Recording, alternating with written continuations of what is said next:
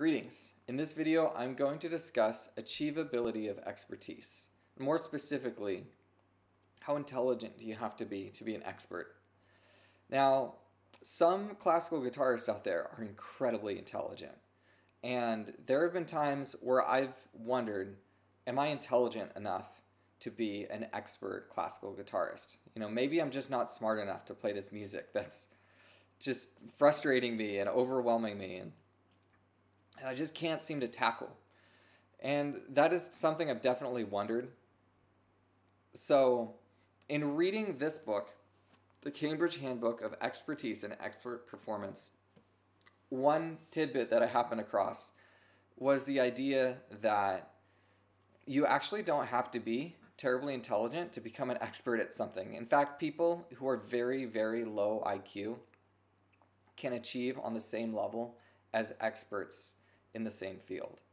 So it's not a matter of intelligence. A brain will adapt to complex skills if it just works at it and works at it and works at it. Some of the prerequisites of expertise that have been consistently observed, as I've read in this book, is there's been more and more research on just the, the subject of expertise, is that it takes a great deal of hard, focused practice. Okay, about 10,000 hours is a prerequisite so, not saying that it'll get you there, but that it's one of the prerequisites to getting there. And the third big factor was having expert guidance. Now, this book, I don't necessarily recommend it. I'll do my best to share the best tidbits from it. it. There's a lot to slog through, and some of it is very inane and academic, but some of it is extremely useful. But that, that fact right there um, about intelligence is was a big question for me, and I was really encouraged to find out that you don't have to be, you know, super intelligent or some genetic anomaly in order to uh, achieve expertise at being a musician, for example. Another factor is age. Um, how old can you be and still become an expert?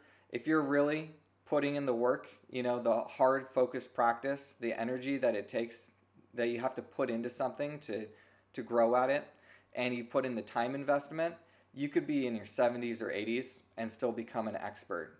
there's there's been studies on people who are uh, well past their 60s who are starting a new skill and becoming experts. So your body will adapt. You got to fight for it. It's going to be it might be harder, but it's it's achievable. So stick with it. Take heart and work hard and you can accomplish great things.